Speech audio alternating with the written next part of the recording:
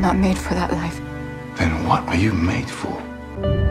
She will do God's will.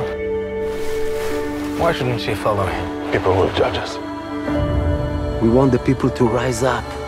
I didn't know we were to be soldiers. Is that what it feels like to be one with God? No one has ever asked me how it feels. You love my son, don't you? You must prepare yourself For what? to lose him.